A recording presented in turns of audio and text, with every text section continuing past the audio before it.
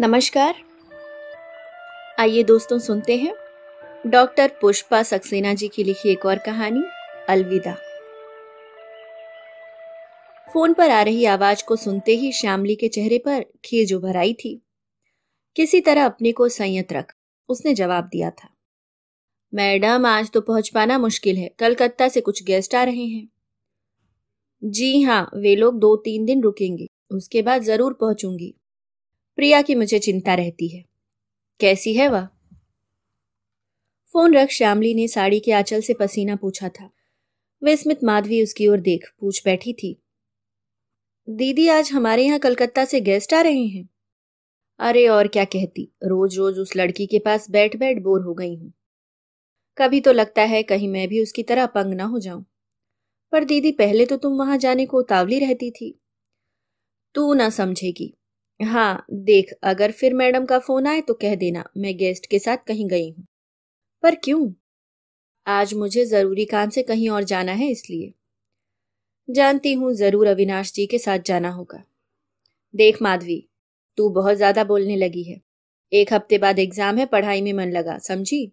अपनी बात खत्म कर, श्यामली कमरे से बाहर चली गई थी। आज सुबह ही अविनाश का फ़ोन आया था। वेलफेयर में बैंडेड क्वीन लगी है। दोनों ने साथ जाने का प्रोग्राम बनाया था। कुछ ही देर बाद अविनाश स्कूटर से उसे लेने आया था। बाल सवारती श्यामली के मन में दुविधा सी आ गई। छोटी बहन माधवी ज़्यादा ही बोलने लगी है। पर क्या उसकी बातों में सच्चाई नहीं है? मिसिस जॉनसन से श्यामली की भेंट अचानक हुई थी। महिला क्लब द्वारा जरूरतमंदों की सहायता के लिए आयोजित मेले में मिसिस जॉनसन अपनी बेटी प्रिया के साथ पहुँची थी। मेले में कॉलेज की लड़कियों को वॉलेंटियर बनाया गया था। बीए के बाद बेकार श्यामली भी खाने के काउंटर पर ड्यूटी पर थी। व्हील चेयर पर आई प्रिया को देख श्यामली के मन में दया उपजी थी। इतनी छोटी उम्र में तो लड़कियाँ पंख लगा उड़ती हैं। और ये बेचारी, उसके पास पहुँच श्यामली ने प्यार से पूछा था। आप क्या लेंगी मिस, चटपटी चाट या मीठा रसगुल्ला? श्यामली की ओर बड़ी बड़ी आँखों से निहारती प्रिया मौन ही रही थी। जल्दी बताइए मिस उत्तर में बुदबुदाने की चेष्टा में प्रिया के होठों के किनारे से लार से निकल आई थी। उस अस्पष्ट स्वर को समझ पाना श्यामली को मुश्किल लगा था। प्यार से झुककर उसके मुँह से निकली लार पोछ, मिसेस जॉनसन ने श्यामली के प्रति आभार व्यक्त किया था? थैंक्स। एक रसगुल्ला देंगी?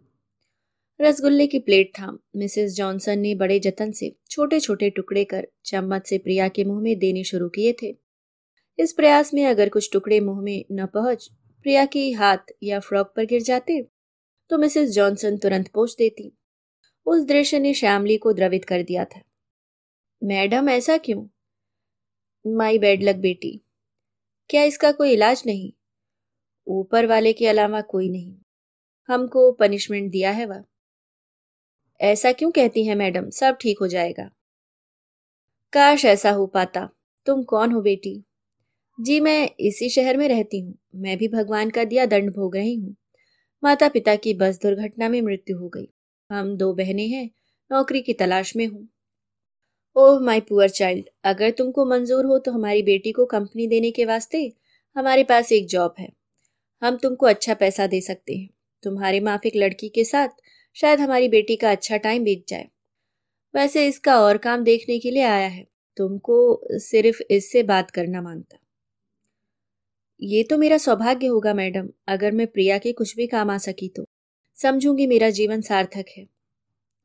दूसरे दिन सुबह शामली मिसेस जॉनसन के बंगले पहुँची थी। बड़ा सा बंगला, चारों ओर बड़े बड़े पेड़। सामने बड़ा सा लॉन देख रेख के बिना उपेक्षित सा पड़ा था। स्पष्ट था किसी समय वह हवेली नुमा बंगला बहुत जीवंत रहा होगा। अब तो सामने लगे फवारे में काई जमी हुई थी। नाम सुनते ही मिसेस जॉनसन बाहर आ गई थी। आओ श्यामली, मैं सोच रही थी शायद तुम ना आओ। ऐसा क्यों सोचा मैडम? एक जीवित लाश के साथ समय काटना बहुत कठिन काम है ना? आप ये क्या कह रही हैं मैडम? श्यामली सिहर उठी थी। ठीक कह रही हूँ बेटी, मैं प्रिया की माँ हूँ, पर उसकी मौत की आहट हर पल सुनती हूँ। न जाने कब, किस समय वह उसे दबोच लेगी, और वह मुझे छोड़ जाएगी। मिसेस जॉनसन का स्वर काप उठा था। प्रिया के साथ ऐसा क्या हुआ है मैडम? ड्यूशेन मस्कुलर डिस्ट्रॉफी कहते हैं इसे। शरीर की हर मांसपेशी, हर अव्यय धीमे धीमे अपनी मौत पाता जा रहा है और मेरी परी से उड़ने वाली बच्ची अवश मौत के सिकंजे में जकड़ती जा रही है। अच्छा हुआ उसके पापा ये तकलीफ़ देखने के पहले ही चले गए। हे भगवान, इस नन्ही सी जान को इतनी बड़ी सजा। जानती हो श्यामली, जिस दिन प्रिया के पाँव ने काम करना बंद किया था, उस दिन मैं बहुत रोई थी। तब प्रिया ने मुझे बच्चों सा सहारा दिया था। मम्मी, दुनिया में कितने लोगों के पाँव नहीं होते। मैं अपने हाथों का इस्तेमाल तो कर सकती हूँ ना? देखना मैं कितनी अच्छी अच्छी पेंटिंग्स बनाऊँगी। कविताएँ लिखूँगी। मेरा टाइम तो फुर से उड़ जाएगा। प्रिया की पेंटिंग्स में आकाश उड़ती चिड़िया। फूलों से अटखेलियाँ करती रंग बिरंगी तितलियाँ हुआ करती थी। कविताओं में जीने की चाहत होती थी। पर अब पिछले एक साल से उसके हाथ अपनी सामर्थ्य खो चुके हैं। मुँह से ठीक बात नहीं निकल पाती। मेरी बच्ची जो झेल रही है, मैं सह नहीं पाती। रुमाल आँखों से लगा मिसेस जॉनसन सिसक उठी थी। उस समय ढेर सारी ममता, उस लड़की के लिए श्यामली के मन में उमड़ आई थी। मिसेस जॉनसन की पीठ पर हाथ धर, उसने सांत्वना देते मन में निश्चय किया था, जब तक संभव होगा, वह पल पल मौत के पास जा रही लड़की का जीवन सुखद बनाने का प्रयास करेगी। शुरू शुरू में श्यामली को प्रिया की बात समझ पाना कठिन लगा था। बाद में वह उसकी अस्पष्ट भाषा समझने लगी थी। प्रिया के हाथ अपनी सामर्थ्य खो चुके थे, पर उंगलियों में अभी जान बाकी थी। प्रिया के हाथ को उठा मेज पर रख देने के बाद उंगलियों में रंगीन पेंसिल अटका सफ़ेद कागज़ पर आड़ी तिरछी रेखाएँ खींचने में सहायता करती श्यामली स्वयं चित्रकारी सीखने लगी थी। धीमे धीमे सब प्रयास प्रिया की रेखाओं में कुछ चित्र उभरने लगे थे। बड़े से झाड़ी नुमा पेड़, जहाँ अव्यक्त सा सन्नाटा पसरा होता, उनके पीछे डूबते सूर्य के चित्र पर काले पेन से प्रिया ने मुश्किल से अवसान लिखा था। श्यामली स्तब्ध रह गई। नहीं, प्रिया को वैसी मौत नहीं चाहिए। उस दिन से श्यामली ने अच्छी अच्छी कहानियाँ, कविताएँ पढ़कर प्रिया को सुनानी शुरू की थी। प्रिया के चेहरे पर जैसे रंग बिरंगी आभा बिखर जाती। एक दिन तो एक कहानी के शीर्षक पर उसने श्यामली से अस्पष्ट शब्दों में बात भी की थी। कहानी का टाइटल अच्छा है। श्यामली का अधिकांश समय प्रिया के पास गुजरता। उसके प्रयासों ने मिसेस जॉनसन को नया जीवन सा दे दिया था। बेटी के मुँह का बदला रंग उन्हें आशान्वित कर जाता। हालाँकि बड़े से बड़े डॉक्टर पहले ही बता चुके थे, इस बीमारी के बाद फिर ठीक होने की उम्मीद बेकार है। झूठी आशा का कोई नतीजा नहीं निकलेगा। अपने घर में श्यामली की सुख सुविधा के लिए मिसेस जॉनसन विशेष रूप से सजग रहती। अच्छे से अच्छा भोजन, उपहारों के अलावा हर महीने साढ़े तीन हज़ार रुपयों का पैकेट थमाकर भी जैसे उन्हें संतोष न होता। बातों बातों में श्यामली जान चुकी थी। शहर के नामी वकील की इकलौती बेटी मर्जीना के पास शादी के लिए ढेरों ऑफर्स थे, पर रॉबर्ट जॉनसन ने उसे मुग्ध किया था। प्यार दुलार में पली मर्जीना का बचपन जितना ही सुखद था, विवाहित जीवन उससे कम नहीं था। रॉबर्ट उस पर जान छिड़कते थे। प्रिया का जन्म दोनों के जीवन की सबसे बड़ी खुशी थी। लेस लगी फ्रॉक पहने प्रिया कितनी प्यारी लगती थी। रॉबर्ट उसे अपने सपनों का साकार रूप कहा करते थे। बेटी के अलावा रॉबर्ट का दूसरा शौक कार रेसिंग का था। हमेशा रेस में आगे रहने वाले रॉबर्ट एक दिन कार रेस में कार दुर्घटनाग्रस्त होने के कारण उन सबको अकेला छोड़कर दुनिया छोड़ गए थे। रुपयों पैसों का अभाव मिसेस जॉनसन ने कभी नहीं जाना। पर पति का विछो उन्हें तोड़ गया। किसी तरह अपने को सहेज उन्होंने अपना पूरा ध्यान बेटी की परवरिश में लगा दिया। गाज तो तब गिरी जब स्कूल की दौड़ में सबसे आगे दौड़ने वाली बेटी के पाँव में हल्का दर्द होना शुरू हुआ।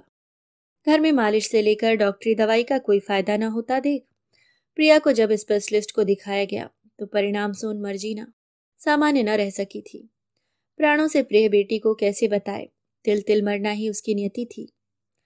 उस समय मर्जीना को सोने की दवाइयाँ खिलाकर जीवित रखा गया था। होश में आते ही वह बिलख पड़ी थी।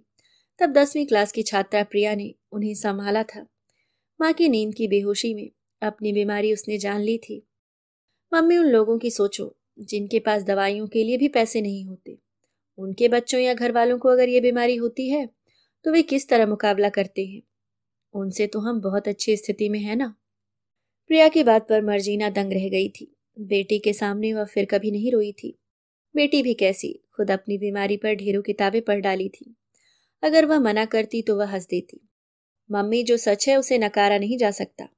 उसे स्वीकार कर साहस के साथ मुकाबला करना चाहिए। मैं मौत से नहीं डरती। ये देखो, मैंने कल कविता लिखी है। अनजानी मौत के प्रति कोई भय नहीं, साक्षात्कार की ऐसी ललक। लेकिन पंक्तियों के बीच कहीं जीने की चाहत झलक उठती। ऐ मौत, मैं तेरी गोद में सोने वाली हूँ, तुझे देखा नहीं, पहचाना नहीं। पर मम्मी की आँखों में झांकते पाया है। कब सामने आकर आगोश में ले लेगी। नहीं जानती, बस कुछ दिन और, जीने की मोहलत दे दे। मम्मी बहुत अकेली हो जाएँगी, उन्हें यूँ छोड़कर जाना अच्छा नहीं लगता। वो पंक्तियाँ पढ़ती शामली की आँखें भराई थी। यूँ सबके सामने हिम्मती दिखने वाली प्रिया। रातों में खुली आँखों के साथ न जाने कितना जागती थी। ये बात शायद मिसेस जॉनसन भी नहीं जानती थी।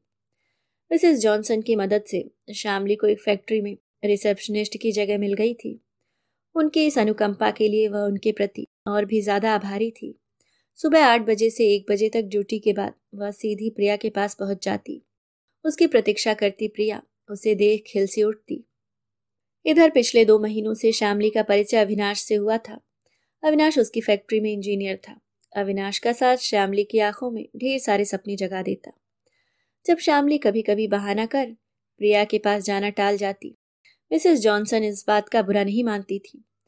पर अविनाश के सानिध्य की चाहत के साथ प्रिया के लिए श्यामली के मन में जगह कम से कम होती जा रही थी।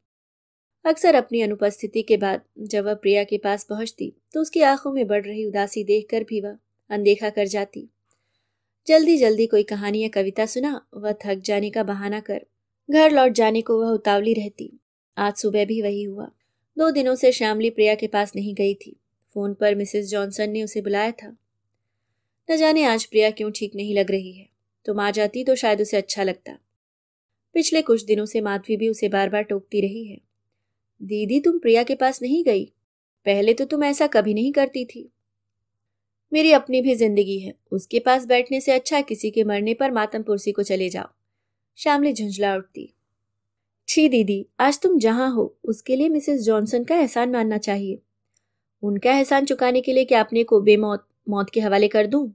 मैंने भी उनके लिए जो किया, कम लोग कर सकते हैं, तू ही बता। मेरे अलावा कोई और इतने दिन वहाँ पहले कभी टिका था? माधवी को चुप करा श्यामली, अविनाश के साथ कहीं घूमने निकल जाती। कभी अकेले में वह अपने को जस्टिफाई करती। नहीं, वह गलत नहीं कर रही थी। आखिर उस निस्पंद शब्द लड़की के पास घंटों बैठना क्या उसके अलावा किसी और के लिए संभव होता? उसने प्रिया को अपना साथ देकर मिसेस जॉनसन पर कम एहसान नहीं किया है। श्यामली की अपनी भी ज़िंदगी है। उसे वह एक मरने जा रही लड़की के नाम होम नहीं कर सकती।